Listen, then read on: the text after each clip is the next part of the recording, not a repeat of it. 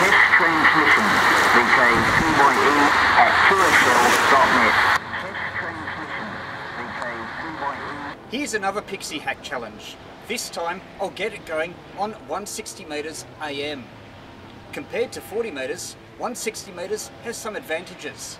For instance, at night you don't get as much foreign interference and it has more predictable conditions for local ground wave coverage, particularly during low sunspot cycle years.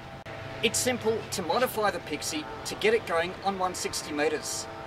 The main thing is, because of its lower frequency, about a quarter that of 40 metres, you need to multiply some of the values three and a half to four times.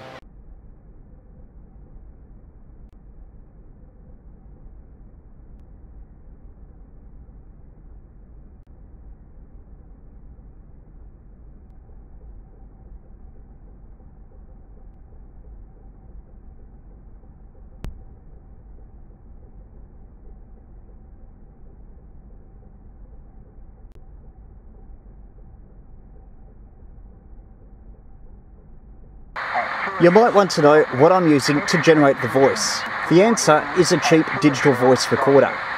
I got it on eBay and reviewed it a few videos ago.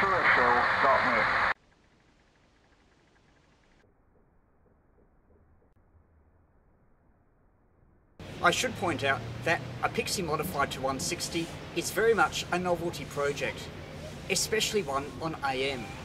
Not only have you got the low output power, around 200 milliwatts, but you've also got the inefficiency of the AM mode. Then there might also be the inefficiency of not being frequency agile and potentially also an inferior antenna, such as what I'm using at home. You might only get a few kilometres range and are most unlikely to make random contacts.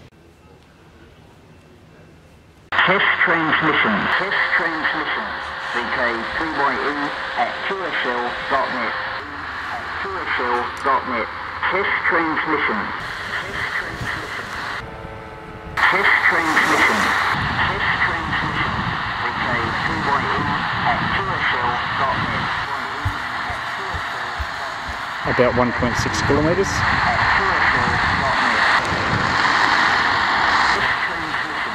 VK3YE at 2SL.net. Test transmission. We'll see if there's better reception out on the pier.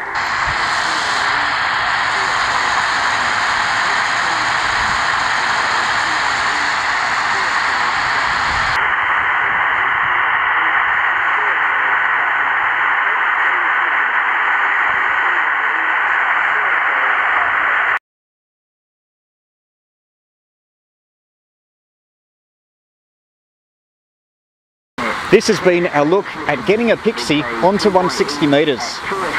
As you can see, it's been a worthwhile experiment.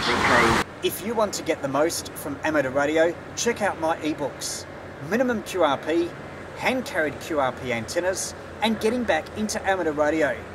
All have been favourably reviewed, and you can get them for a low price in electronic form.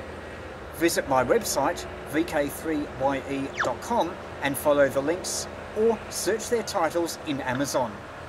You can also like the VK3YE Radio Books page on Facebook. The books are available in electronic form and in some countries in paperback as well.